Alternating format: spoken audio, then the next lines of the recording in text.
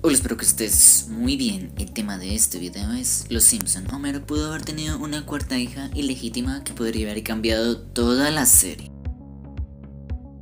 Si eres fanático de la serie y sabes cuáles son sus personajes, conoces a Homero, Marsh, Lisa, Bart y a Maggie, además de los cuñados de Homero, que son Patty y Selma, y otros personajes más, como los abuelos, el papá de Homero, que es Abraham Simpson, y la mamá de Marsh, que es la abuela Bouvier. Pero ha salido una nueva revelación que cambiaría por completo la serie. O en la casita del horror de los Simpson, en donde se nos muestran historias alternativas a la serie.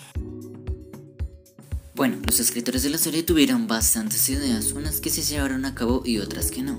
Entre esas, tuvieron en mente que Homero tuviera una hija legítima antes de conocer a Marsh. Sin embargo, llevaron la idea a otro personaje. Y es lo que podría haber pasado si se concentraba la idea de que Homero Simpson tuviera una tercera hija, la cual fue concebida fuera del matrimonio con Marsh. Y esto realmente hubiese significado un cambio muy importante dentro de la historia de la familia amarilla.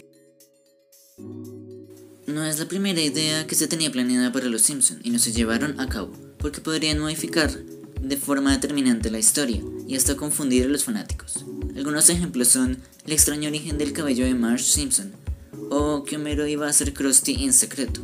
Pero hay una idea incluso más perturbadora que estas, y es que el padre de familia iba a tener otra hija.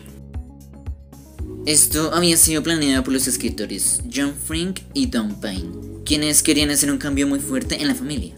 Pero eso sí, ella iba a ser mayor que Bart, Lisa y Maggie, ya que iba a ser concebida antes de que Homero se casara con Marsh. Como este cambio era muy radical, los productores no estuvieron de acuerdo, ya que habría provocado mucha polémica y los espectadores no iban a ver la serie con los mismos ojos. Por eso es que al final la historia se la adjudicaron a Krusty el payaso.